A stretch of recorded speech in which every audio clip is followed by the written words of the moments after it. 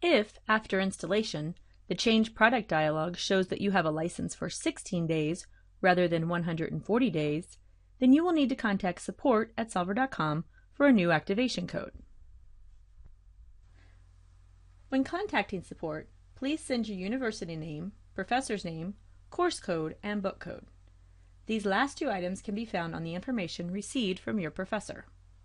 If you have not yet received a course code or textbook code, then you will need to contact your professor and ask him or her to email academic at solver.com for these codes.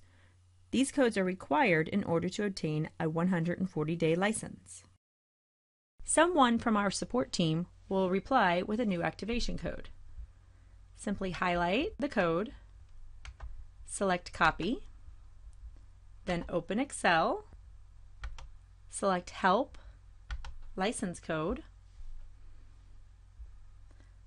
select the Activation Code field on the License Code dialog, right-click, and select Paste. Then click OK. To verify that a license has been activated, go back to Help, Change Product.